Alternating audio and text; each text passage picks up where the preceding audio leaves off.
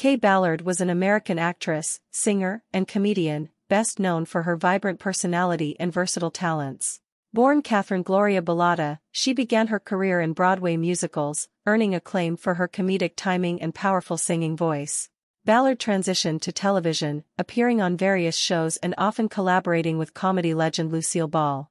Her breakthrough role came in the 1960s sitcom The Mothers-in-Law, where she showcased her comedic skills.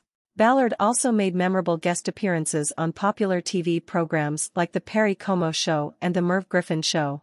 Throughout her career, she demonstrated an ability to connect with audiences through laughter and heartfelt performances. Beyond television, Kaye Ballard's stage career flourished, with appearances in productions like The Golden Apple and Carnival. She also enjoyed success as a recording artist, releasing albums that highlighted her singing talents and wit. Kaye Ballard's talent and warmth earned her a devoted fan base and the respect of her peers in the entertainment industry. Her contributions to comedy and entertainment continue to be celebrated, and she is remembered as a true comedic trailblazer. Ballard's legacy lives on through her timeless performances, leaving an indelible mark on the world of comedy and entertainment.